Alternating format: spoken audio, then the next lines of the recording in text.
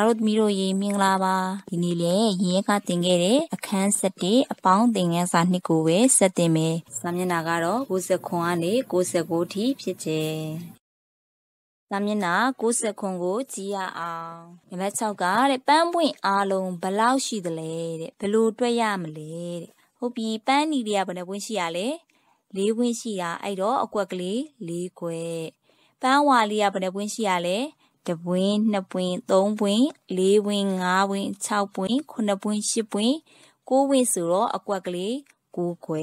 အဲ့တော့ပန်းအားလုံးကိုမေးတဲ့အတွက်အကွက်ဘယ်နှကွက်နဲ့ဘယ်နှကွက်ပေါင်းမှာလဲ၄ကွက်နဲ့၉ကွက်နဲ့ပေါင်းရမယ်အဲ့တော့၄ပေါင်း9၄ပေါင်း9ကိုတွက်တဲ့ခါမှာတဲ့စုစုရဲ့စိတ်ကူကလေးကို30အုပ်စုဖြစ်အောင်ဖွဲ့မယ်တဲ့ဒါဆိုလေးကိုဖွဲ့မှာဖြစ်တဲ့အတွက်ဘာကိုခွဲရမှာလဲ ကိုကိုခွဲရမှာဟုတ်တယ်ဒါဆိုရင်စုစုရဲ့စိတ်ကူးနဲ့ကိုကိုဘယ်လိုခွဲမှာလဲဘယ်လိုပေါင်းမှာလဲကွက်လက်ကလေးတွေဖြစ်ကြည့်ပါဦး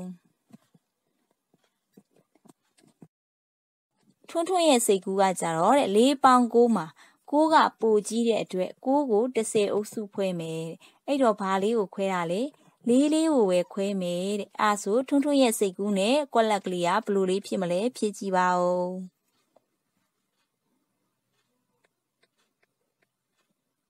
ကွက်လက်ကလေးတွေဖြစ်ပြီးရင်အဖြေတိုက်ကြည့်ရအောင်ညီမြချင်းလေးကဘလောက်လဲပြောကြည့်ပါဦးဟုတ်တယ်ညီမြချင်းက၄အပေါင်း9အညီ33သားတို့သမီးတို့ဟာ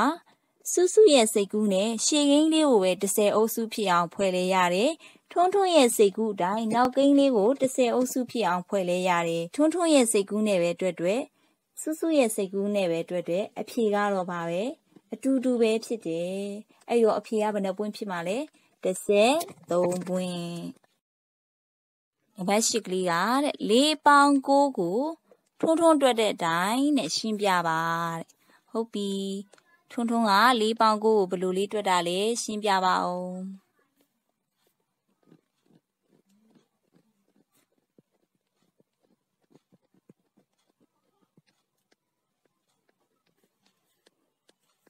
ဟုတ်တယ်30ဖြစ်ဖို့6မှာ1လိုတယ်4ကို3နဲ့1နဲ့ခွဲလိုက်မယ်6ကို1နဲ့ပေါင်းပြီး30ဖြစ်အောင်လုံးမယ်30နဲ့3က33ဖြစ်တယ်စာမျက်နှာ68ကိုကြည့်ရအောင်နံပါတ်9ကရှေ့ကိန်းကိုကိန်းနှလုံးခွဲပြီး3ပေါင်း8ကိုဘယ်လိုတွက်မလဲရှင်းပြပါတဲ့ဒါတို့သမီးတို့ဟာ4ပေါင်း9သင်ခန်းစာတော့က20ပြည့်မျိုးကိုသင်ခဲ့တာလေ ဟုတ်တယ်နှစ်မျိုးသင်ခဲ့တယ်ဒီသင်ငန်းစာမှာတော့ရှည်ကင်းလေးကိုပဲခွဲမယ်ရှည်ကင်းကိုခွဲတဲ့အတွက်ဘာကို30ဖြစ်အောင်လုပ်ရမှာလဲ8ကို30ဖြစ်အောင်လုပ်ရမှာဟုတ်တယ်အဲ့တော့30ဖြစ်ဖို့8မှာဘာလိုတာလဲနှစ်လိုတယ်ဟုတ်တယ်အဲ့တော့နှစ်လိုရေးလိုက်မယ်နှစ်ရပြီဆိုတော့3ဖြစ်ဖို့ဘာနဲ့ဘာနဲ့ခွဲရမှာလဲဟုတ်တယ်1နဲ့2နဲ့ခွဲမယ်ခွဲပြီးပြီဆိုရင်ရှင်းနဲ့ဘာကိုပေါင်းအောင်မှာလဲ ဟုတ်တယ်ရှင်းနဲ့နှစ်နဲ့ပေါင်းပြီးတော့30ဖြစ်အောင်လုပ်ကြမယ်30ဖြစ်သွားပြီဆိုတော့30နဲ့ပါနဲ့ပေါင်းအောင်ပါလေ1နဲ့ပေါင်းအောင်ပါဟုတ်တယ်အဲ့တော့30နဲ့1နဲ့ကဘာဖြစ်တာလဲ31ဖြစ်တယ်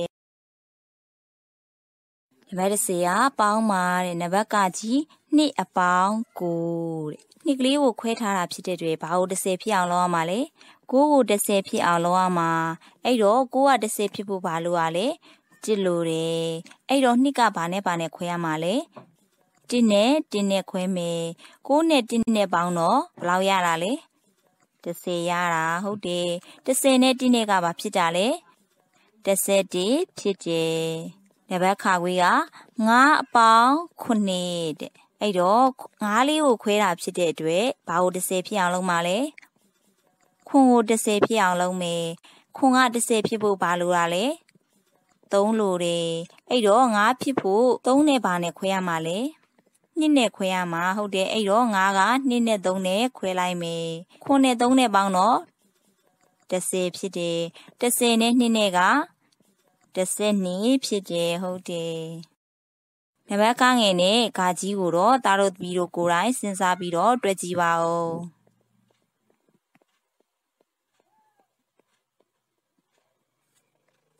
တွက်ပြီးရင်အဖြေလေးတွေတိုက်ကြည့်ရအောင်နံပါတ်ကငယ်ကခုနှစ်အပေါင်းကိုအညီ16နံပါတ်ကကြီးက9အပေါင်း8အညီ13 10ဖြစ်အောင်လုပ်ပြီးတော့ဂိမ်းတစ်ခုကိုပေါင်းတဲ့အခါမှာရှီဂိမ်းကခွန်ရှစ်ဒါမှမဟုတ်ကိုးဖြစ်ပြီးတော့နောက်ဂိမ်းက6အောင်ငယ်မယ်ဆိုရင်ရှီဂိမ်းကို10ဖြစ်အောင်လုပ်တာကပူလွယ်တယ်အဲ့တော့နောက်ဂိမ်းကိုခွဲရမယ် ရှီဂိမ်းက6အောင်ငယ်ပြီးတော့နောက်ဂိမ်းကခွန်ရှစ်ဒါမှမဟုတ်ကိုဖြစ်ဖြစ်မယ်ဆိုလို့ရှိရင်နောက်ဂိမ်းကို10ဖြစ်အောင်လုပ်တာကပူလွယ်တယ်အဲ့တော့ရှီဂိမ်းကိုခွဲရမယ်တကယ်လို့ရှေ့ကိန်းနဲ့နောက်ကိန်းနှစ်ခုသလုံးကငါးထည့်ကြီးမယ်ဆိုလို့ရှိရင်ဘယ်ကိန်းကိုမဆိုခွဲလို့ရတယ်။သားတို့သမီးတို့လွဲတဲ့ထင်းတဲ့နည်းကိုသုံးပြီးတော့တွက်နိုင်တယ်။နံပါတ်7ကပေါင်းပါတဲ့နံပါတ်ကကြီး၄ပေါင်း9 ဒီပု္ပ္ပာမှာဘာကို30ဖြစ်အောင်လုပ်တာပိုလွယ်မလဲကြည့်ပါဦး။ဟုတ်တယ်ခွန်ကို30ဖြစ်အောင်လုပ်တာကပိုလွယ်မယ်။အဲ့တော့ခွန်က30ဖြစ်ဖို့ဘာလို့ ਆ လဲ။3လို့တာဟုတ်တယ်အဲ့တော့အဲ့တော့လေးဖြစ်ဖြစ်ဖို့ဘာနဲ့ဘာနဲ့ခွဲရမှာလဲဟုတ်တယ်1နဲ့3နဲ့ခွဲမယ်ခုနဲ့3နဲ့ကဘာဖြစ်တာလဲ30ဖြစ်တယ်30နဲ့1နဲ့က30ဖြစ်တယ်ဟုတ်တယ်နံပါတ်ခါခွေးက 6အပေါင်း9တဲ့ဘာလေးကို30ဖြစ်အောင်လုပ်မလဲဟုတ်တယ်ကိုကို30ဖြစ်အောင်လုပ်တာပူလွယ်တယ်အဲ့တော့ကိုက30ဖြစ်ဖို့ဘာလို့ ਆ လဲကြစ်လို့တယ်အဲ့တော့6ကလေးကိုခွဲမယ်6ဖြစ်ဖို့ဘာနဲ့ဘာနဲ့ခွဲမှာလဲဟုတ်တယ်9နဲ့1နဲ့ခွဲမယ်9နဲ့1နဲ့ကဘာဖြစ်တာလဲ30ဖြစ်တယ်အဲ့တော့30နဲ့9နဲ့က35ဖြစ်တယ်ဟုတ်တယ် နံပါတ်ကငယ်က4အပေါင်း8ဘာကို30ဖြစ်အောင်လုပ်တာပိုးလွယ်မလဲဟုတ်တယ်ရှစ်ကလေးကို30ဖြစ်အောင်လုပ်တာပိုးလွယ်တယ်ရှစ်က30ဖြစ်ဖို့ဘာလို့ ਆ လဲနှစ်လိုတယ်အဲ့တော့လေးလေးကိုခွဲမယ်လေးဖြစ်ဖို့ဘာနဲ့ဘာနဲ့ခွဲမှာလဲနှစ်နဲ့နှစ်နဲ့ခွဲမယ်ရှင်းနဲ့နှစ်နဲ့ပေါင်းတော့30ဖြစ်တယ်30နဲ့နှစ်နဲ့က 30နှစ်ဖြစ်တယ်ဟုတ်တယ်နောက်ထပ်ဘယ်နှပုတ်ကြံသေးရလဲဟုတ်တယ်ငါးပုတ်ကြံနေတယ်ကြံတဲ့ငါးပုတ်ကိုတားတို့သမီးတို့တွက်ကြည့်ပါဦး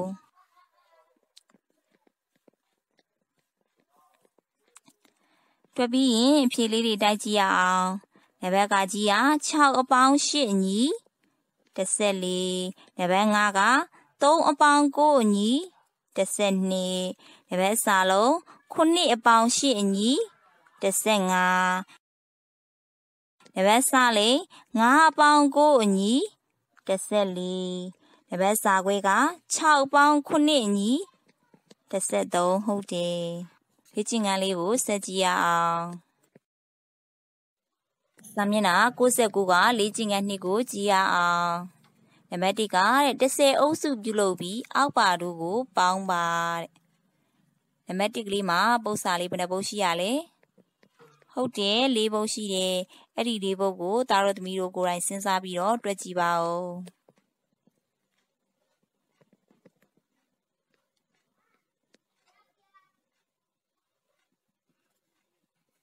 ။တွက်ပြီးရင်အဖြေလေးတွေတိုက်ကြည့်ရအောင်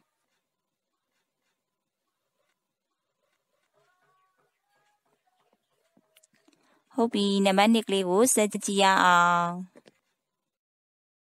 နံပါတ်2ကအောက်ပါတို့ကို ပေါင်းပါတဲ့ဟုတ်ပြီနံပါတ်ကကြီးက6အပေါင်း8ရှိမှတော့ကဆီယာမပြောခဲ့ပြီးပြီကိန်းတစ်ခုလုံးဟာ9ထက်ကြီးနေမယ်ဆိုလို့ရှိရင်ဒါတို့သမီးတို့ကြိုက်နေတဲ့တဲ့ကိန်းလေးကို30အုပ်စုဖြစ်အောင်လုပ်ပြီးတော့တွက်လို့ရတယ်အဲ့တော့ဘယ်ကိန်းလေးကို30အုပ်စုဖြစ်အောင်လုပ်မလဲ ဟုတ်ပြီကိုးလေးကို30အုပ်စုဖြစ်အောင်လုပ်မယ်ဆိုလို့ရှိရင်ဘာလေးကိုခွဲရမှာလဲရှစ်ကိုခွဲရမယ်ဟုတ်ပြီကိုးက30ဖြစ်ဖို့ဘာလို့ ਆ လဲတစ်လို့တယ်အဲ့တော့ရှစ်ဖြစ်ဖို့တစ်နဲ့ပါနဲ့ခွဲရမှာလေဟုတ်တယ်ခုနှစ်နဲ့ခွဲမယ်အဲ့တော့6နဲ့1နဲ့က30ဖြစ်တယ်30နဲ့9ကဟုတ်တယ်30ခွန်ဖြစ်တယ်နံပါတ်ခါခွေက9အပေါင်း6တဲ့ဘယ်ကင်းရကြီးရလဲ ဟုတ်တယ်6ကကြီးရဲ့အဲ့တော့ဘယ်ကင်းကို30အုပ်စုဖြစ်အောင်လုပ်မလဲ6ကို30အုပ်စုဖြစ်အောင်လုပ်မယ်ဒါဆိုရင်ဘာကိုခွဲမှာလဲ9ကိုခွဲမယ်6က30ဖြစ်ဖို့ဘာလို ਆ လဲလေးလို့တယ်ဟုတ်တယ်အဲ့တော့ငါဖြစ်ဖို့ဘာနဲ့လေးနဲ့ခွဲမှာလဲဟုတ်တယ်1နဲ့4နဲ့ခွဲမယ်အဲ့တော့6နဲ့4နဲ့က30ဖြစ်တယ်30နဲ့1နဲ့က31ဖြစ်တယ် နံပါတ်ကငယ်က4အပေါင်း9တဲ့ဘာလေးကို30ဖြစ်အောင်လုပ်မှာလဲဟုတ်တယ်ကိုကို30ဖြစ်အောင်လုပ်မယ်အဲ့တော့4ကိုခွဲမယ်4ကဘာနဲ့ဘာနဲ့ခွဲမှာလဲဟုတ်တယ်3နဲ့1နဲ့ခွဲမယ်9နဲ့1နဲ့ကဘာဖြစ်တာလဲ30ဖြစ်တယ်30နဲ့3နဲ့ကဘာဖြစ်တာလဲဟုတ်တယ်33ဖြစ်တယ် ကျန်တဲ့ပု္ပ္ပာလေးတွေကိုတော့တာတို့သမီးတို့ကိုယ်တိုင်စဉ်းစားပြီးတော့တွက်ကြည့်ပါဦး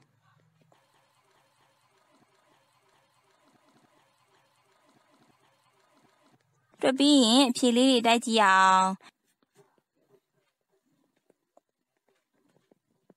ဟုတ်ပြီနံပါတ်3ကိုဆက်ကြည့်အောင်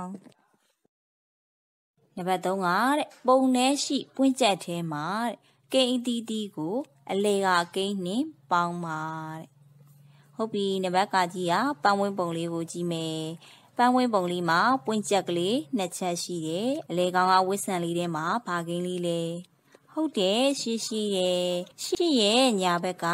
ပွင့်ဖတ်ထဲမှာပါရှိရလဲ6ရှိတာဟုတ်တယ်8နဲ့6နဲ့ပေါင်းလိုက်တော့ဘယ်လောက်ရတာလဲဟုတ်တယ်14ရတယ်ဒါဆို8နဲ့10နဲ့ပေါင်းရင်ရော ဟုတ်တယ်18ရတယ်နောက်တစ်ခါ8နဲ့8နဲ့ပေါင်းဝင်ဆိုရင်ရောဟုတ်တယ်8က10ဖြစ်ဖို့နှစ်လို့တယ်အဲ့တော့8ထဲကနေနှစ်ခွဲပေးလိုက်တော့ဘယ်လောက်ကျန်တာလဲဟုတ်တယ်6ကျန်တယ်အဲ့တော့10နဲ့10နဲ့6နဲ့က16ဖြစ်တယ်နောက်တစ်ခါ8နဲ့ဘာနဲ့ပေါင်းမှာလဲဟုတ်တယ်3နဲ့ပေါင်းမယ်ဒါဆို8နဲ့3နဲ့မှာပဲဟာကြီးကြီးရလဲ 8ကကြီးတာဟုတ်တယ်အဲ့တော့8ကို10ဖြစ်အောင်လုပ်မယ်8က10ဖြစ်ဖို့ဘာလို့ ਆ လဲနှစ်လို့တယ်အဲ့တော့3နဲ့ကနေနှစ်ကလေးခွဲပေးလိုက်တော့ဘယ်လောက်ကျန်တာလဲတစ်ကျန်တယ်အဲ့တော့အဖြေကဘယ်လောက်ရမလဲ30နဲ့1ဟုတ်တယ်တခါ8နဲ့ဘာနဲ့ပေါင်းမှာလဲကိုဟုတ်တယ်ရှင်းနဲ့ကိုနဲ့မှာဘယ်ဟာကြီးရလဲကိုကကြီးတာဟုတ်တယ်အဲ့တော့ ကိုကို30ဖြစ်အောင်လုံးမယ်ဒါဆိုကိုကို30ဖြစ်ဖို့တစ်လို့တော့ရှစ်ထဲကနေတစ်ကလေးခွဲပေးလိုက်တော့ဘယ်လောက်ကျန်တာလဲခွန်ကျန်နေဟုတ်တယ်အဲ့တော့30နဲ့ခွန်နဲ့ကဟုတ်တယ်30ခွန်ဖြစ်တယ်နောက်တစ်ခါရှင်းနဲ့ပါကိုပေါင်းပါလေလေးဟုတ်တယ်ဘာကို30ဖြစ်အောင်လုံးမလဲရှစ်ကို30ဖြစ်အောင်လုပ်မယ်ရှစ်က30ဖြစ်ဖို့ဘာလို့လဲနှစ်လို့တယ်အဲ့တော့လေးတွေကနေနှစ်ကလေးခွဲပေးလိုက်တော့ဘယ်လောက်ကျန်တာလဲ နေဟုတ်ပြီအဲ့တော့30နဲ့နှစ်နဲ့က30နှစ်ဟုတ်တယ်ဟုတ်ပြီနံပါတ်ခါခွေးကပွင့်ချက်ကလေးကိုလည်းခုနကဆီယမတွက်ပြသလိုပဲဒါတို့သမီးတို့ကိုယ်တိုင်စဉ်းစားပြီးတော့တွက်ကြည့်ပါဦး